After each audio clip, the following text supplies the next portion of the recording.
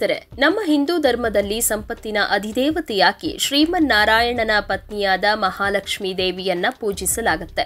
ಆಕೆ ಒಲಿದ ಮನೆಯಲ್ಲಿ ಸಂಪತ್ತಿನ ಹೊಳೆಯೇ ಹರಿಯುತ್ತೆ ಎನ್ನಲಾಗುತ್ತೆ.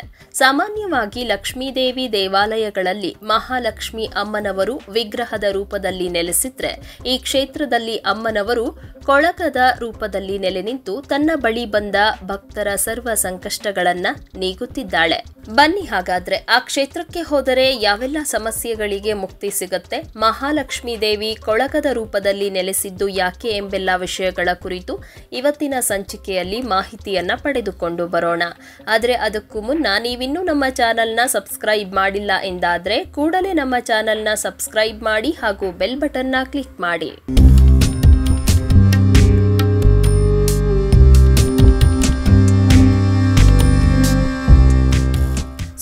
ಎಂಟುನೂರ ಐವತ್ತು ವರ್ಷಗಳಷ್ಟು ಪುರಾತನವಾದ ಇತಿಹಾಸವನ್ನ ಹೊಂದಿರುವ ಕೊಳಗ ಮಹಾಲಕ್ಷ್ಮಿ ದೇವಾಲಯವು ಪಾಳೆಗಾರರ ಕಾಲದಲ್ಲಿ ನಿರ್ಮಿತವಾದ ಆಲಯವಾಗಿದ್ದು, ಈ ಕ್ಷೇತ್ರದಲ್ಲಿ ಮಹಾಲಕ್ಷ್ಮಿ ತಾಯಿಯು ಕೊಳಗದ ರೂಪದಲ್ಲಿ ನೆಲೆಸಿರೋದ್ರಿಂದ ಈ ಕ್ಷೇತ್ರಕ್ಕೆ ಕೊಳಗ ಮಹಾಲಕ್ಷ್ಮಿ ದೇವಾಲಯ ಎಂಬ ಹೆಸರು ಬಂದಿದೆ ಎಂದು ಹೇಳಲಾಗುತ್ತೆ. ಕಪ್ಪು ವರ್ಣದ ಶಿಲೆಯಲ್ಲಿರುವ ಮಹಾಲಕ್ಷ್ಮಿ ಅಮ್ಮನವರ ವಿಗ್ರಹದ ಹಿಂದುಗಡೆ ಕೊಳಗವನ್ನಿಟ್ಟು ಪೂಜಿಸಲಾಗ್ತಾ ಇದ್ದು, ಈ ಕ್ಷೇತ್ರದಲ್ಲಿ ಅಮ್ಮನವರ ಜೊತೆ ನಾಗಲಾಂಬಿಕೆ ನಾಗಲಿಂಗೇಶ್ವರ ಹಾಗೂ ಸುಬ್ರಹ್ಮಣ್ಯನ ವಿಗ್ರಹಗಳನ್ನು ಕೂಡ ಮಹಾಲಕ್ಷ್ಮಿ ಅಮ್ಮನವರ ಅಣತಿಯಂತೆ ಪ್ರತಿಷ್ಠಾಪಿಸಲಾಗಿದೆ. ವಿವಾಹ ವಿಳಂಬ ಸಮಸ್ಯೆ, ಅನಾರೋಗ್ಯ ಸಮಸ್ಯೆ, ಆರ್ಥಿಕ ಸಮಸ್ಯೆ, ವ್ಯವಹಾರ ಸಮಸ್ಯೆ, ಸಂತಾನ ಸಮಸ್ಯೆ, ಕೋರ್ಟ್ ಕಚೇರಿ ಸಮಸ್ಯೆ, ಜಮೀನಿನ ಸಮಸ್ಯೆ, ಹೀಗೆ ಏನೇ ಸಮಸ್ಯೆಗಳಿದ್ರೂ ಈ ಕ್ಷೇತ್ರಕ್ಕೆ ಬಂದು ಭಕ್ತಿಯಿಂದ ತಾಯಿಯ ಎದುರಿನಲ್ಲಿ ನಿಂತು ಬೇಡಿಕೊಂಡು ಹರಕೆಯನ್ನ ಹೊತ್ತುಕೊಂಡ್ರೆ ಆ ಸಮಸ್ಯೆಗಳೆಲ್ಲವೂ ದೂರವಾಗುತ್ತೆ ಎಂದು ಹೇಳಲಾಗುತ್ತೆ. ಅಲ್ಲದೆ ಮಹಾಲಕ್ಷ್ಮಿ ಅಮ್ಮನವರು ಕೊಳಗದ ರೂಪದಲ್ಲಿ ನೆಲೆಸಿರೋದ್ರಿಂದ ಇಲ್ಲಿಗೆ ಬಂದ ತಾಯಿಯಲ್ಲಿ ಬೇಡಿಕೊಂಡ್ರೆ ಮನದ ಅಭೀಷ್ಟೆಗಳೆಲ್ಲವೂ ಶೀಘ್ರವಾಗಿ ನೆರವೇರುತ್ತೆ ಎನ್ನುವುದು ಈ ದೇಗುಲಕ್ಕೆ ಭೇಟಿ ನೀಡಿ ಬದುಕಿನಲ್ಲಿ ಯಶಸ್ಸನ್ನ ಕಂಡ ಭಕ್ತ ಜನರ ಮನದ ಮಾತಾಗಿದೆ.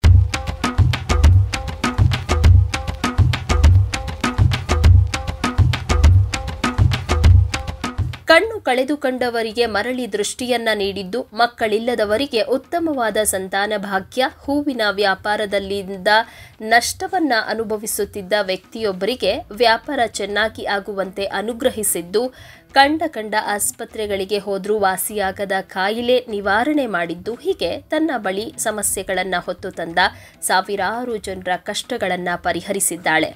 ಈ ಕ್ಷೇತ್ರದಲ್ಲಿ ನೆಲೆಸಿರುವ ಕೊಳಗ ಮಹಾಲಕ್ಷ್ಮಿ ಅಮ್ಮನವರು ತನ್ನನ್ನು ನಂಬಿ ಯಾರೇ ಬಂದು ಏನನ್ನೇ ಬೇಡಿದ್ರೋ ಈ ತಾಯಿ ಕರುಣಿಸ್ತಾಳೆ ಎಂಬ ಕಾರಣದಿಂದ ನಿತ್ಯ ನೂರಾರು ಮಂದಿ ಈ ಕ್ಷೇತ್ರಕ್ಕೆ ಬಂದು ಅಮ್ಮನವರನ್ನ ನಂಬಿ ತಮ್ಮ ಕಷ್ಟಗಳನ್ನು ಪರಿಹರಿಸಿಕೊಂಡಿದ್ದಾರೆ. ಅಲ್ಲದೆ ಸರ್ಪದೋಷ, ರಾಹುದೋಷ, ಕುಜದೋಷ ಸಮಸ್ಯೆಗಳಿದ್ದವರು ಈ ದೇಗುಲಕ್ಕೆ ಬಂದು ಇಲ್ಲಿರುವ ಸುಬ್ರಹ್ಮಣ್ಯ ಸ್ವಾಮಿಗೆ ಪೂಜೆಯನ್ನ ಸಲ್ಲಿಸಿದ್ರೆ ಅವರ ದೋಷಗಳೆಲ್ಲವೂ ದೂರವಾಗುತ್ತೆ ಎಂದು ಹೇಳಲಾಗುತ್ತೆ. ಇನ್ನು, ಈ ಕ್ಷೇತ್ರದಲ್ಲಿ ಸೌಭಾಗ್ಯ ಲಕ್ಷ್ಮಿಯಾದ ಮಹಾಲಕ್ಷ್ಮೀ ದೇವಿಯು ಕೊಳಕದ ರೂಪದಲ್ಲಿ ಬಂದು ನೆಲೆಸಿರೋದ್ರ ಹಿಂದೆ ಒಂದು ಘಟನೆ ಕೂಡ ಇದೆ. ಹಿಂದೆ, ವಿಜಯನಗರದ ಅರಸರ ಕಾಲದಲ್ಲಿ ಈ ಪ್ರಾಂತ್ಯದಲ್ಲಿ ವೀರ ಬಲ್ಲಾಳನೆಂಬ ಪಾಳೆಗಾರ ಆಳ್ವಿಕೆ ನಡೆಸ್ತಾ ಇದ್ದು, ಒಂದಿನ ಅವನಿಗೆ ಹೊಲದಲ್ಲಿ ಸೂರ್ಯ ಚಂದ್ರರ ಚಿತ್ರವಿರುವ ಹಿತ್ತಾಳೆ ಕೊಳಗ ಸಿಗುತ್ತೆ. ಅವನು ಅದನ್ನ ಮನೆಗೆ ತೆಗೆದುಕೊಂಡು ಹೋಗಿ ನಂತರ ರಾತ್ರಿ ಅವನ ಕನಸಿನಲ್ಲಿ ಮಹಾಲಕ್ಷ್ಮಿ ದೇವಿಯು ಕಾಣಿಸಿಕೊಂಡು, ನಾನು ಈ ಕೊಳಕದಲ್ಲಿ ವಾಸವಾಗಿದ್ದೇನೆ, ನನ್ನನ್ನ ಪೂಜಿಸು, ಎಲ್ಲವೂ ಒಳ್ಳೆಯದಾಗುತ್ತೆ ಅಂತ ಹೇಳುತ್ತಾಳೆ.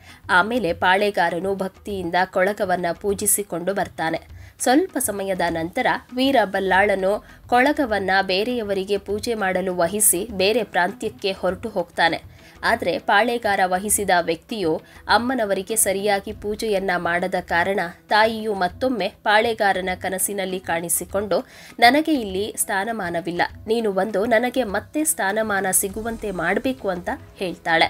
ಆಮೇಲೆ ಪಾಳೆಗಾರನು ವಾಪಸ್ ಊರಿಗೆ ಬಂದು ಕೊಳಗದಲ್ಲಿ ಮಹಾಲಕ್ಷ್ಮಿ ಅಮ್ಮನವರು ನೆಲೆಸಿರೋದಾಗಿಯೂ ಇನ್ನು ಮುಂದೆ ಸರಿಯಾಗಿ ಪೂಜೆಯನ್ನ ಮಾಡಿಕೊಂಡು ಹೋಗಬೇಕು ಎಂದು ಹೇಳಿದಾಗ, ಕೆಲವರು ತಾಯಿಯು ಕೊಳಗದ ರೂಪದಲ್ಲಿ ಇದ್ದಾಳೆ ಅನ್ನೋದಕ್ಕೆ ಸಾಕ್ಷಿಯನ್ನು ತೋರಿಸಬೇಕು ಅಂತ ಹೇಳ್ತಾರೆ.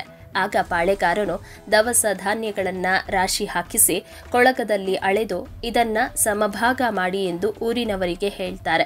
ಊರಿನವರು ಎಷ್ಟೇ ಅಳೆದ್ರೂ ಧಾನ್ಯವು ಖಾಲಿಯಾಗಲೇ ಇಲ್ಲ. ತುಂಬಿದಷ್ಟು ಧಾನ್ಯವು ಅಕ್ಷಯವಾಗುತ್ತಿದ್ದ ಕಾರಣ ದವಸದ ರಾಶಿಯನ್ನ ಎರಡು ಭಾಗ ಮಾಡಲು ಸಾಧ್ಯವಾಗೋದಿಲ್ಲ. ಆಗ ಊರಿನವರು ಕೊಳಕದಲ್ಲಿ ಮಹಾಲಕ್ಷ್ಮಿ ಅಮ್ಮನವರು ನೆಲೆಸಿದ್ದಾರೆಂದು ಒಪ್ಪಿಕೊಂಡು ಮುಂದೆ ದೇವಿಯನ್ನ ಭಕ್ತಿಯಿಂದ ಆರಾಧಿಸಿದ್ರು ಎಂದು ಇಲ್ಲಿನ ಸ್ಥಳ ಐತಿಹ್ಯದಲ್ಲಿ ತಿಳಿಸಲಾಗಿದೆ.